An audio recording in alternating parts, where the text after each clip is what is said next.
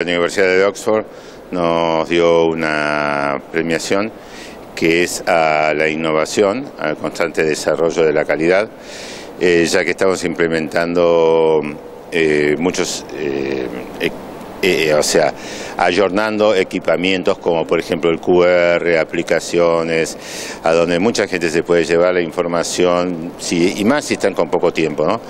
Y el octubre estamos inaugurando cinco microcines eh, con temas antárticos, eh, que también causó sensación, y bueno, es un poquito, sensación en el sentido de decir eh, cambios, o sea, no quedarnos estáticos y entrar con las nuevas tecnologías, con las pantallas táctiles, hay aplicaciones para sordos.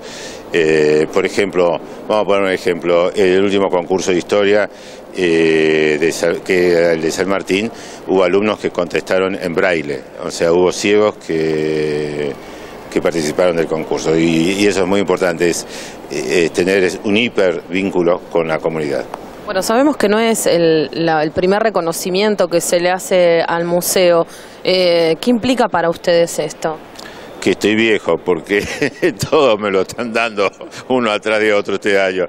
Eh, fue en New York uno, que fue realmente muy emocionante, que el jurado fue eh, de la universidad, era el rector de la Universidad de Politécnica de Madrid, eh, que había estado el año anterior acá y había visto los avances que habíamos hecho. También a la innovación fue.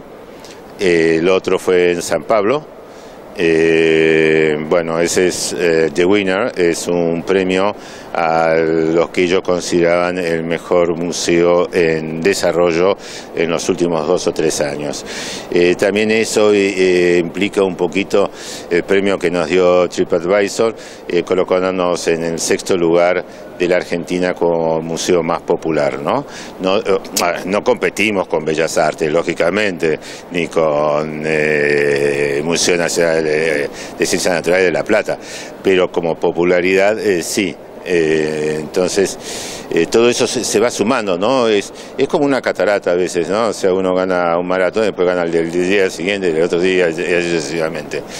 eso también por otro lado, para mí, eh, el otro sí es uno muy personal, que fue el de Chile, eh, la distinción que me, dio, me dieron como investigador eh, antártico, ¿no? Bueno, pero eso, eso fue hace una semana y eso, eso sí es personal.